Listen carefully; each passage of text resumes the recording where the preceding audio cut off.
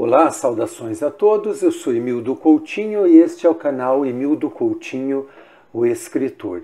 Pessoal, eu prometo que este será o último vídeo no qual eu falo de um youtuber que entrevistou um teólogo. O youtuber é um crítico da congregação cristã CCB e o teólogo ele se diz da congregação cristã.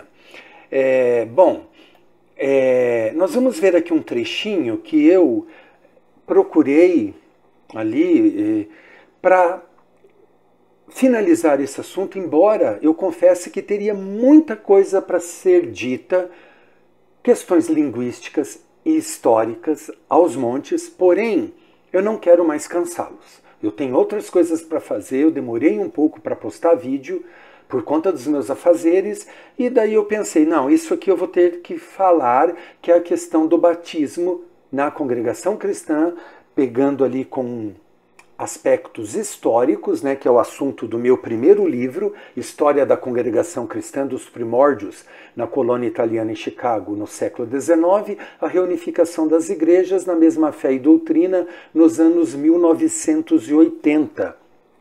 E também, de uma certa forma, assunto de esclarecimento dos novos atos, a história de uma pesquisa inquietante, que é um livro que complementa o histórico. Aqui eu falo dos bastidores da pesquisa, interpreto textos né, que eu li em vários idiomas, enfim, tudo o que eu vivi para escrever o histórico de 500 páginas.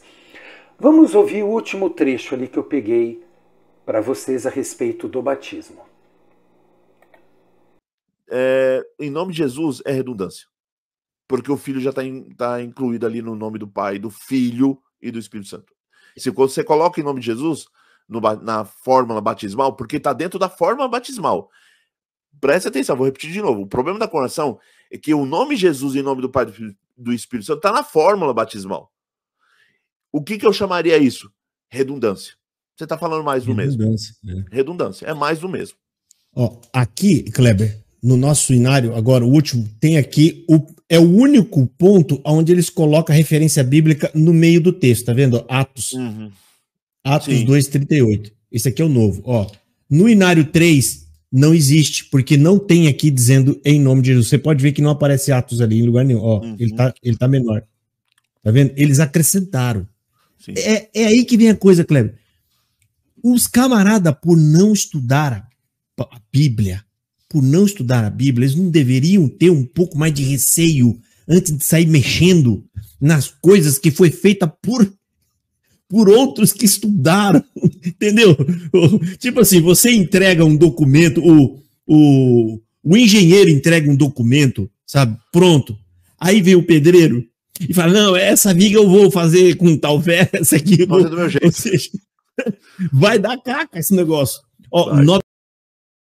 vai dar caca esse negócio. Bom, aqui vocês viram o trecho deles. É, bom, eu vou começar por questões linguísticas. Redundância é como quando nós falamos a mesma coisa numa frase. Por exemplo, eu vou subir para cima, eu vou descer para baixo ou entrar para dentro. Ou, e era isso aqui que eu procurei, na fala do teólogo. O cristian... eu, falo, eu sempre falo isso em aula, e vou repetir novamente. O cristianismo é a religião da segunda chance que há muito tempo atrás a Assembleia de Deus tinha uma versão à teologia também. Então, quando a pessoa diz eu vou repetir de novo, isso aqui é redundância, porque repetir já é de novo. Vamos ouvir mais uma vez?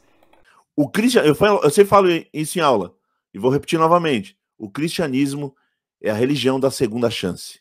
Eu sempre falo isso. Eu vou repetir novamente. Não, ou eu vou dizer novamente ou eu vou repetir. Isso aqui é redundância, que o teólogo praticou. E depois ele diz isso. Que há muito tempo atrás a Assembleia de Deus tinha uma versão à teologia também. Há muito tempo atrás, não, há muito tempo, há do verbo haver, há e craseado. Há muito tempo, não precisa dizer atrás, já é atrás. Isso sim é redundante. Agora, eles virem dizer que o batismo da CCB é redundante porque é feito em nome do Senhor Jesus em nome do Pai, do Filho e do Espírito Santo, não é redundante. É bíblico. Linguisticamente não é redundante. Não é. Ele não sabe o que é redundância. Redundância, essas duas falas dele. É mandamento, é doutrina. Tudo o que fizeres, façais em meu nome. Então, em nome do Senhor Jesus, oremos a Deus. Em nome do Senhor Jesus, abrimos o culto. Em nome do Senhor Jesus, partimos numa viagem. Em nome do Senhor Jesus eu te digo tal coisa. Em nome do Senhor Jesus eu vou fazer tal coisa. Em nome do Senhor Jesus eu te batizo em nome do Pai, do Filho e do Espírito Santo. É, ele tem aí uma explicação é, é que eu vou pular é, em relação a questões mais teológicas que ele também é, não diz nada de nada. Agora, eles ali criticam que alguns da CCB, e de fato eu já ouvi isso, que eles achavam que era correto, porque em nome do Senhor Jesus te batizo, não podia dizer eu te batizo, porque o eu era o eu, não era em nome do Senhor Jesus, não era, enfim. Isso é uma bobeira porque temos no português sujeito oculto ou indeterminado. Quando eu falo eu, é, é, quando eu falo te batizo, é eu que estou batizando pela conjugação do verbo. O inglês já não daria para fazer tal coisa. O italiano, sim. E essa forma batismal tão incompreendida e que eles querem saber onde surgiu, tudo eles querem saber porque eles não é, alinham com Franciscon. Toda essa live, mais de quatro horas aqui, que para mim foi uma tortura, eu tive que acelerar para suportar tamanha ignorância em vários aspectos eles não se tocam que Franciscon disse tudo o que eles estão criticando e eles achando que o Brasil enganou Franciscon.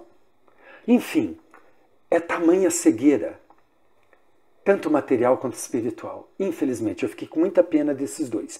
Eu vou ler aqui, ó, como foi estipulado na fé e regra da Igreja de Chicago, chamado estatuto da Igreja de Franciscon, o que que diz no italiano? Vamos ler igual?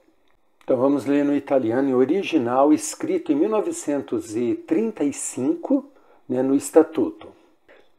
Chi è chiamato a ministrare il battesimo deve dire al fratello sorella, alla tua richiesta, nel nome del Signore Gesù Cristo, ti battezo nel nome del Padre, del Figliolo e dello Spirito Santo.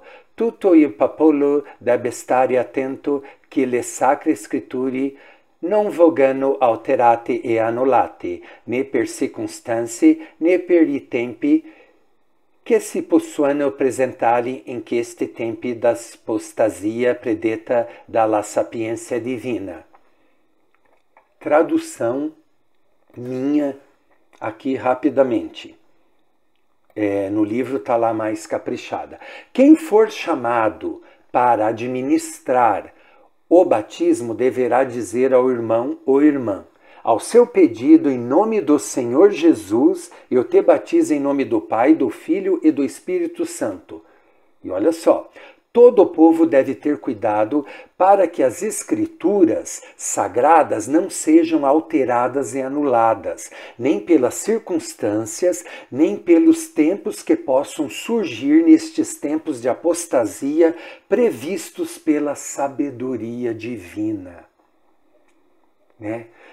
Uma coisa que eu não entendo por hora, o porquê se em 1935 a Igreja de Chicago, no seu estatuto, já estipulava isso, por que, que o Brasil, só décadas depois, acrescentou a sua forma batismal, como o youtuber ali mencionou que antes não era assim, depois foi? É, eu, sinceramente, tenho que investigar. Se vocês souberem, podem comentar é, aqui embaixo. Se mesmo que não tivesse nos pontos de doutrina, se era feito desse jeito durante esses anos todos, até vir ali, como ele disse no meio do texto, como se isso fosse um problema, acrescentado que é em nome do Senhor Jesus. Se era feito mesmo assim, eu teria que perguntar, eu tenho fontes, eu vou perguntar, mas por hora, sinceramente, eu não indaguei essas fontes sobre isso. Porque as coisas, elas são tão claras e muita coisa eu vi que foi se aprimorando Então esse livro aqui, ele, ele traz falhas, entre aspas, da congregação. Ele é um livro muito sincero, não é oficialesco. Muitas coisas no nosso meio viraram mitos, eu explico aqui. Então eu aconselho, por mais que eu explique, estou fazendo vídeos bem didáticos. Comprem o livro, pessoal. Comprem, leem, os dois de preferência. Se não tiver condições por hora, esse livro aqui. Nessa terceira edição atualizada está com 500 páginas e até segunda ordem é 80 reais, mas é um dinheiro muito bem investido. Porque por mais que eu posto coisas aqui, vocês não vão compreender o todo. E aqueles que adquiriram, leiam esse livro. Porque eu vejo muita gente que adquiriu, mas não leu e vem me fazer perguntas sempre repetidas, para não cair nas falácias de pessoas tão despreparadas quanto esses dois aqui. Eu fico muito triste que Deus tenha misericórdia da alma desses dois. Porque eles combatem a doutrina da CCB cegamente, não sabe o que faz. E é uma doutrina apostólica. É a doutrina de Cristo. Eu ouso dizer. Ele, na live, o teólogo diz algo que nem ele compreende. Ele falou assim que se alguém lê a escritura, que consegue enxergar a doutrina. Não aconteceu com ele. E daí foi corrompida a mente dele pela teologia. Eu sou um exemplo disso. Eu venho de outras áreas, do jornalismo, né, de línguas. Quando eu me converti e li a Bíblia, eu entendi perfeitamente. Eu sou o exemplo que ele dá, mas ele não é o exemplo. Não é engraçado isso? Meio paradoxal, né? Meio sem sentido. Sim, basta lermos a Bíblia nós compreendemos. Mas desde que não venha permeada pela sabedoria humana. Eles falam todo o tempo que a congregação não lê a Bíblia, não estuda a Bíblia, não tem a Bíblia como palavra de Deus. E tudo que saiu da boca desses dois indivíduos foi baseado no teólogo tal, no é, teórico tal, tudo porque Armênio isso, porque Calvin isso, porque os pais da igreja, porque isso. Muito pouco você vê, assim, quase nada, fonte primária que é a Bíblia. Tudo é sabedoria humana. O que eles falam que a igreja da qual eu narro nesse livro não faz é o que eles fazem. Amparado pela sabedoria humana somente. A Bíblia passou longe desses dois. Eles podem ser armenianos, calvinistas, wesleyanos, reformados, luteranos, qualquer outra coisa, mas não são cristãos genuinamente como a gente vê na Bíblia. Porque todo conhecimento está amparado e tudo isso já foi previsto, né? Como eu disse aqui na tradução, né? Vamos ler mais uma vez? Olha só, né? Todo o povo deve ter cuidado para que as escrituras sagradas não sejam alteradas e anuladas. O que, que eles fizeram? O que, que igrejas por aí fizeram? Nem pelas circunstâncias, nem pelos tempos que possam surgir nesses tempos de apostasia previstos pela sabedoria divina.